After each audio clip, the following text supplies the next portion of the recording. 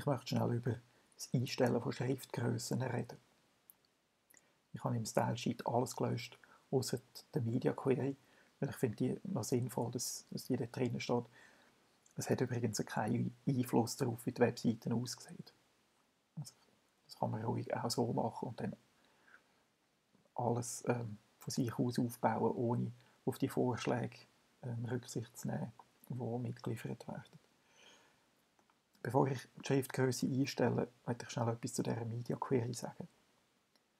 Ähm, was da steht, ist at Media. Das bedeutet, jetzt kommt eine Media Query. Eine Media Query ist ein Set von Regeln, die nur unter bestimmten Bedingungen gelten. Und da sind die Bedingungen zwei, nämlich erstens Screen, also Ausgabemedium ist Bildschirm. Man könnte sagen Print, dann wird es nur, für, nur gelten, wenn etwas gedruckt wird and, das ist die Verknüpfung mit der nächsten Bedingung, minimale Breite 768 Pixel. Also der Viewport muss mindestens 768 Pixel groß sein, damit die Regeln, die nachher da drinnen stehen, gelten. Also ich könnte zum Beispiel schreiben,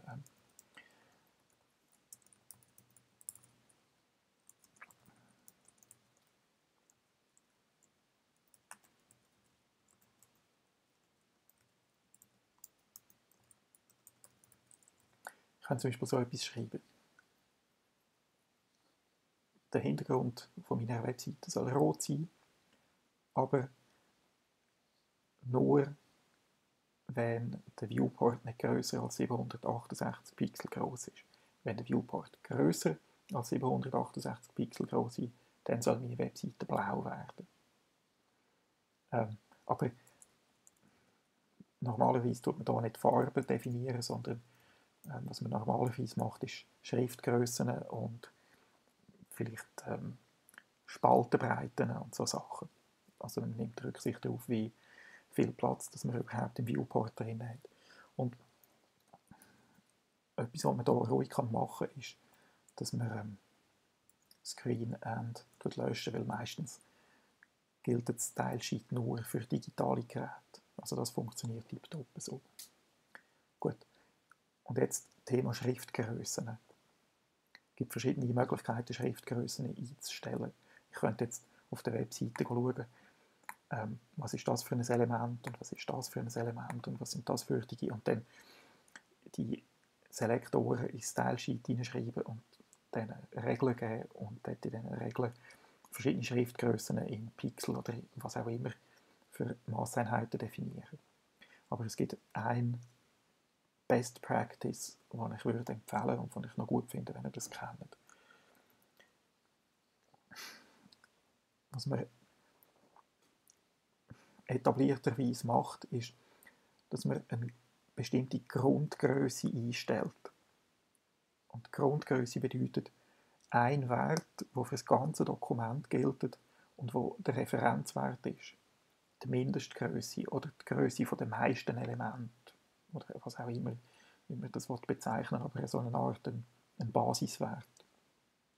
Und den Basiswert stellt man ein für den Haupttag, für den untersten Tag, also den, wo alle anderen drinnen sind im HTML-Dokument. Das ist normalerweise der HTML-Tag. Und man könnte jetzt schreiben HTML und dann den Basiswert dort festlegen. Aber man könnte sich vorstellen, dass vielleicht ein nachlässiger Entwickler nicht den HTML-Tag geschrieben hat, sondern irgendetwas anderes. Oder es aus irgendeinem Grund eine andere Ordnung gibt. Es gibt einen Selektor, der synonym ist für die Wurzel vom ganzen Dokument. Und der heißt Doppelpunkt Root. Das ist der unterste Tag vom ganzen Dokument. Normalerweise ist es synonym mit HTML. Und jetzt könnte man hier sagen, Font Size 16 Pixel, haben wir gelernt. 16 Pixel ist normal ein guter Basiswert. Oder man könnte einen größeren Wert nehmen oder einen kleineren, nach Geschmack. Es gibt aber nochmal eine andere Möglichkeit. Und das ist, dass man nicht einen Pixelwert nimmt, sondern dass man sagt 100%. Und was mit dem gemeint ist, ist, 100% von dem Wert, wo der User oder Software vorgibt. Und was mit dem wiederum gemeint ist, ist, dass die Software, also der Browser, der hat nämlich eine eigene Basisgröße. Und wenn du in die Einstellungen vom Browser gehst, zum Beispiel klickst Kommando Komma, dann hat es, es ist nicht in jedem Browser am gleichen Ort, in Firefox ist das jetzt da, hat es eine Einstellung, die festlegt, was ist der Fallback-Font, wenn keine Schriftfamilie ähm, festgelegt ist. Da ist es Times, und das ist eigentlich in allen Browser Times. Und es gibt auch eine Grundschriftgröße, 16 Pixel. Also von dort kommt der Wert. Und alle gängigen Browser sind auf diesen Wert eingestellt. Und jetzt kann man sich vorstellen, dass Leute, die eine Sehschwäche haben, die vielleicht eine Lupe brauchen, um einen Text zu lesen, dass die ihren Browser so einstellen, dass dort das Doppelte oder das Dreifache drinnen ist. Und wenn man die Schriftgröße so definiert, wie ähm, jetzt hier in meinem Style Sheet, dann nimmt man auf das Rücksicht. Das heißt, die Schriftgrößen vom, vom Dokument werden ähm, entsprechend diesen Einstellungen angepasst und würden dann aufskaliert werden, wenn der Wert vergrößert wäre. Man könnte sagen, ja gut, so gehen wir Kontrollen aus der Hand, aber man könnte auch sagen, ähm, das ist für eine bestimmte Usergruppe eine bessere User Experience. Also das ist eigentlich ähm, so, wie man es macht, comme Und was man in der Regel auch angeht, da ist ein Grundwert für den Zielenabstand. Das heißt Lineheit. Also im Browser gibt es nicht Durchschuss in Pixel zwischen den Zielen, sondern es gibt eine Lineheit und das ist ähm, der Wert von einer Grundlinie zu der nächsten. Und das ist, auch da könnte man einen Pixelwert nehmen aber wenn ich jetzt dort 20 Pixel schreibe, dann passt das zu 16 Pixel. Aber wenn dann der Text größer oder kleiner als das ist, dann gibt es äh, Löcher oder Überlappungen. Also dort ist eigentlich der richtige Weg, das zu machen, ist, dass man einen Faktor angibt, zum Beispiel ein gängiger Faktor ist 1,3 oder 1,2 oder 1,4, es kommt auf die Schriftart an, oder wie der Font eingestellt ist, wie viel Fleisch das dort oben und unten ist. Ähm, 1,3, 1,4 ist so ein, ein sicherer Wert, aber man muss es halt ein bisschen anschauen. Ähm, und was mit dem gemeint ist, ist 1,3 mal die Schriftgröße. Also 100% heisst eigentlich 16 Pixel und 1,3 heisst 16 Pixel mal 1,3. Und das gibt dann vielleicht irgendetwas um die 20 Pixel. Und wenn man das gemacht hat, dann tut man alle weiteren Werte mit REM einstellen. Also zum Beispiel die wichtigste Überschrift ist Font Size 4 REM vielleicht.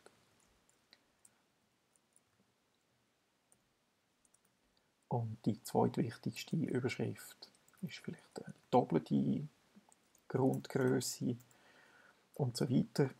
Und alle Absätze und alle Listenelemente ähm, sind vielleicht ein Rennen. Oder dann kann man da wahnsinnig mathematisch werden und ausrechnen, ähm, was gibt 14 Pixel, wenn 16 Pixel die Grundgröße ist. Ähm, natürlich mit Font Size vorher dran. Also diese Sachen. Aber das ist eigentlich wie, dass man die Schriftgröße einstellt. Und was man dann machen kann, ist, dass man sagt, okay, das ist, das, sind, das ist Grundgröße für alle Bildschirme bis zu einer bestimmten Breite. Und wenn wir auf einem großen Bildschirm sind, wo größer als die 768 Pixel ist, dann nehmen wir die Grundgröße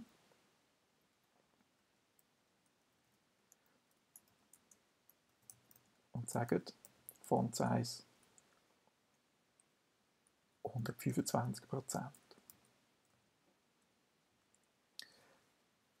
Und das heißt, dass die,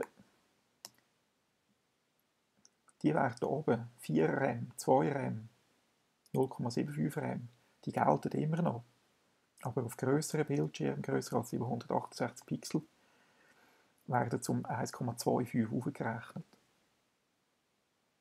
Also dann ist 4 RAM, ist 5 RAM. 4 mal 1,25 gibt hoffentlich 5. habe das vorher nicht ausprobiert. Aber ich mache jetzt mal, ich riskiere hier ein Neuladen, das Neuladen ähm, und ich die Größe auf zurückstellen. Es ist schon etwas passiert. Also der ist größer als vorher.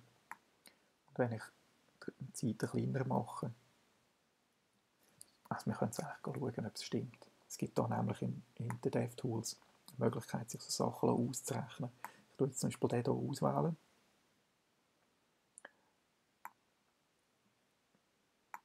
Schauen, dass es das H1 und nicht den Link nimmt. H1. Ihr seht hier H1 Font Size 4 RAM, also das entspricht dem. Und dann gibt es hier einen Reiter, der heißt Computer, und dann kann man schauen, wie groß es in Pixel umgerechnet wird. Ich kann das filtern nach Font Size und ich sehe 64 Pixel. Also es gibt 64 geteilt durch 4 gibt 16. Und für größere Bildschirme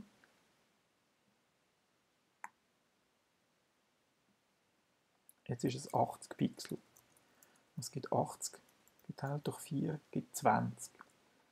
Und jetzt, wenn 16 mal 1,25 20 gibt, dann habe ich recht gehabt. 16 mal 1,25 gibt 20. Jetzt bin ich schön erleichtert. Jetzt muss ich das Video nicht noch einmal von vorne anfangen. Also so stellt man Schriftgrößen ein.